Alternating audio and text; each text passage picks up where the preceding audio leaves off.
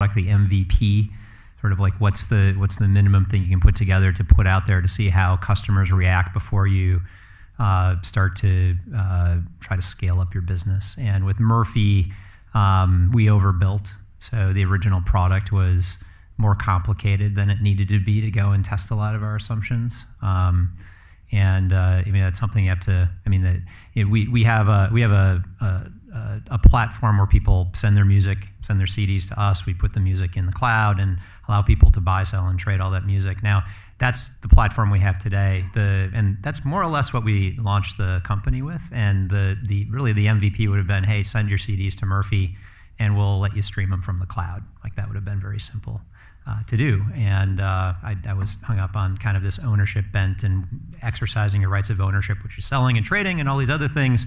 Um, and so it took us a little longer, a little bit longer, a few extra months to, to get that first product out the door, uh, for example. So really take a hard look at what, you know, what really is the minimum feature set that you can build to put in front of customers so that you can shorten that feedback loop that Brian talked about.